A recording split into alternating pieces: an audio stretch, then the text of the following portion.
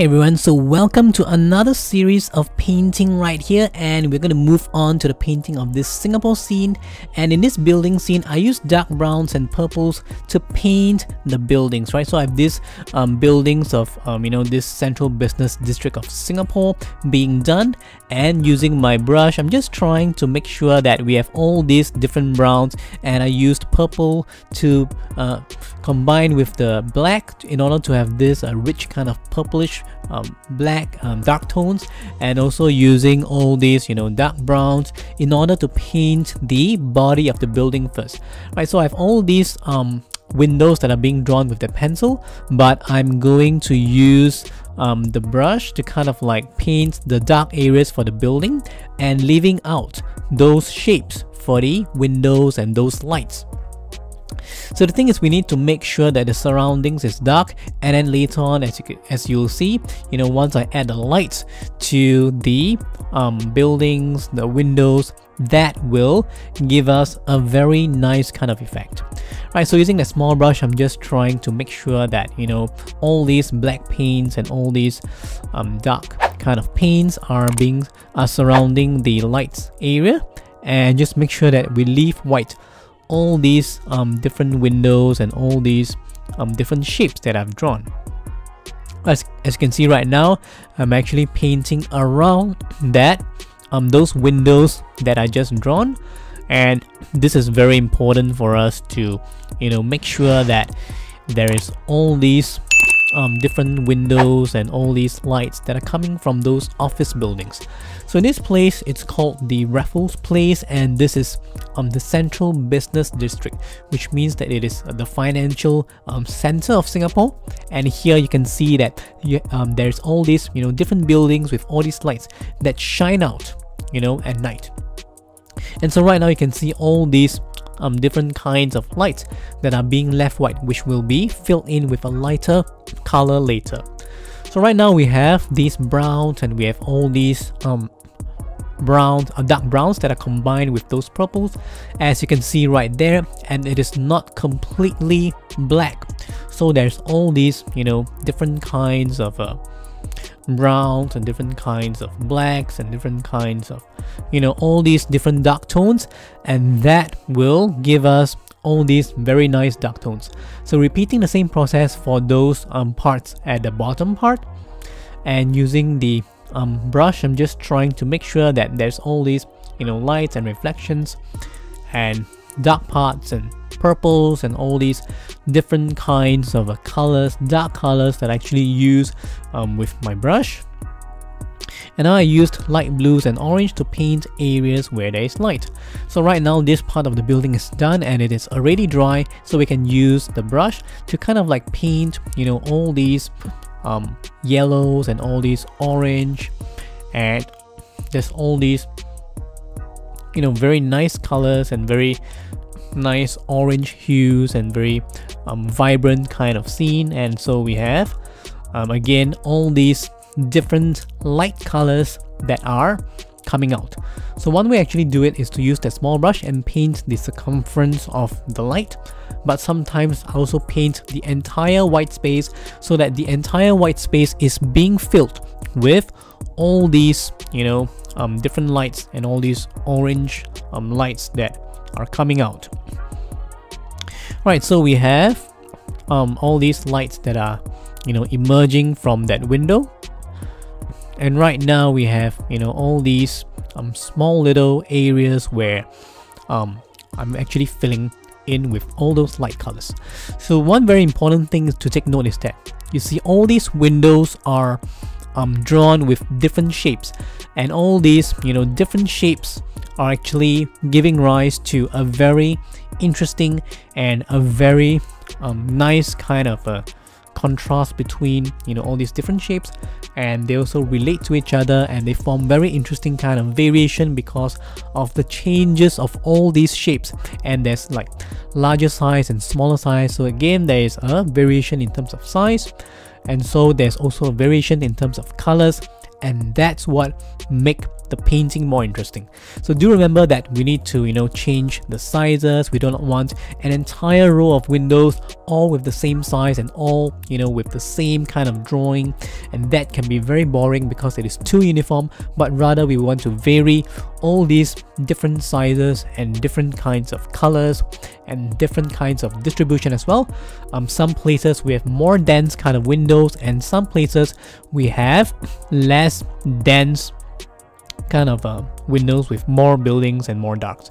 So again, repeating the same process um, on for the buildings on the right hand side and right now we can see that we have all these orange and all these yellows and we have some purples and that can really give us all these very nice kinds of colors and uh, we are just trying to recreate those dark tones as you can see right there. I actually use some purples and so some parts some of dark zones are lighter and some are darker because I use different kinds of purples and different kinds of darks and different kinds of browns and that will give us some very nice kind of darks.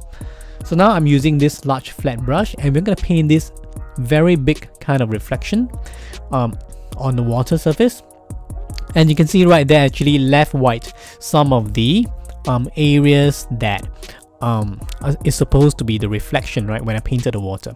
So using my brush I just try to make sure that we have all these yellows in. So I used green, yellow and orange to paint the reflections on the water and I used um, purple, orange and yellow to fill in the windows where there was light. So earlier on we've seen that. And um, you know I used this uh, yellow to kind of like make sure that there's all these very very um, bright kind of uh, colors and very bright kind of reflection on the water. And so using my brush I'm just trying to blend in all these different kinds of uh, you know transitions and different kinds of um, edges and trying to make sure that um, these two areas are blending blending together using the flat brush which I'm you know using right now in order to blend all these different colors together. And that can really give us some very very nice kind of uh, you know blending kind of effect.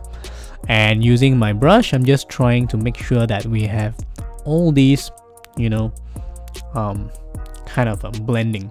So using my brush I'm just trying to make sure that we have all these strokes.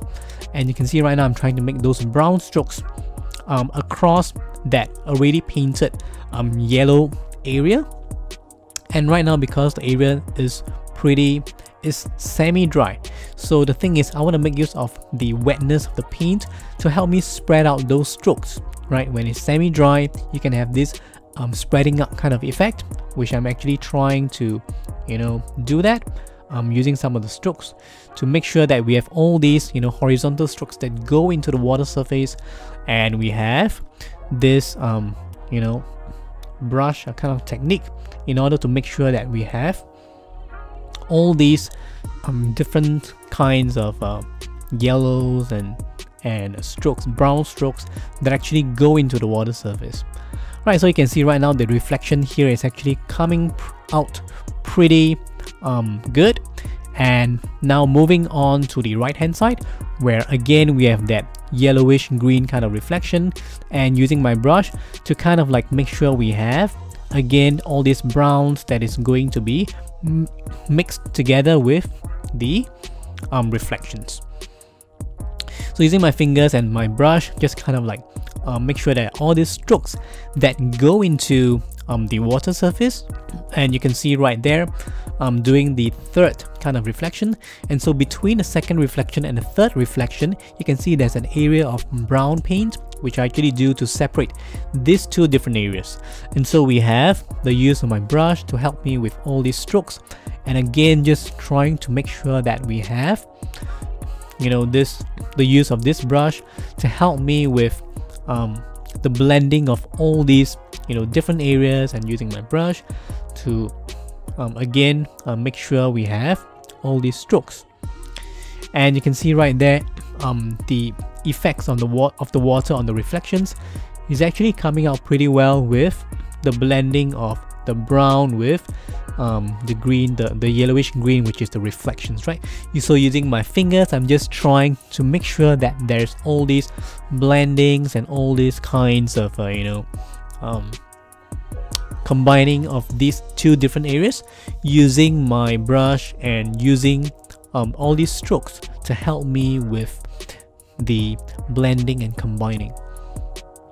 Right, so now we can move on to the top area right there.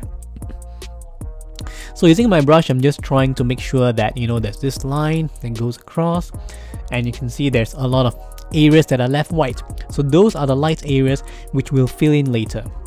So again, leaving um, out this area and there's a reflection right there that is not done yet and we will now actually proceed on to do it. So using the yellows and we have this orange um, just trying to use my brush to actually paint all these horizontal strokes which again um, is actually showing the you know light areas and all the um, the movement of the water on top of the reflection. So this makes it more realistic with all these kinds of uh, you know strokes and movements.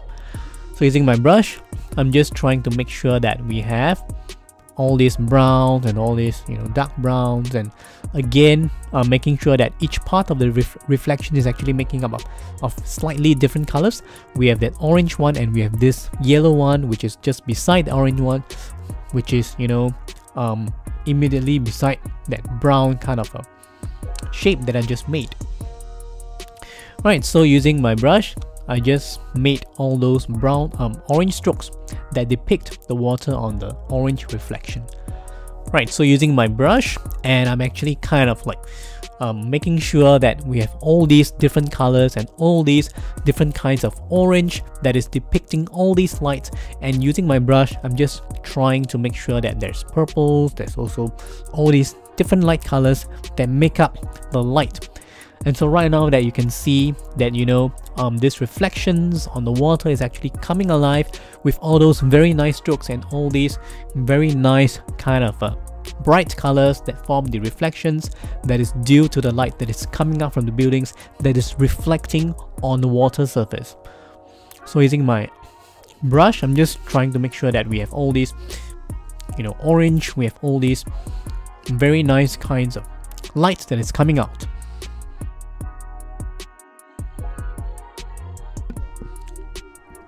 Right, so now we can proceed on to the painting of the lights on top.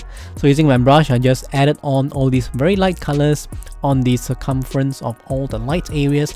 And so, um, as I mentioned earlier, I actually used the light blues and yellows and orange and light greens and so on and so forth.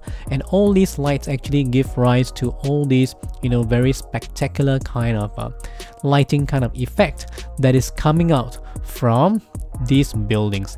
And that is something which is um, very attractive to look at especially you know for a night scene where you know the surroundings is pretty dark and you have all these lights that are shining out from those windows and those light sources. And that can give a very non mm, dazzling kind of uh, effect with all these very attractive lights that is coming out so again, we are almost done with this area, just using my brush to kind of like fill up, fill up those um, lights. And we are trying to make sure that there are all these different orange and different yellows and different kinds of blues and so on and so forth. So just making sure that we are, we are, you know, um, leaving no none of these lights that are uncolored. And so I'm just trying to make sure that we have all these lights covered with the paintbrush uh, with the paint on the paintbrush. And so using all these different light colors and that will give us a very nice effect. Right so just trying to do all these blues and these purples and these browns and these light yellows and light pinks and so on and so forth. And this is how we actually do the lights. And this is how we actually do all these um, very bright windows that are shining and are giving us this very nice and attractive kind of uh, atmosphere and this kind of effect that we see uh, on this night scene of Singapore.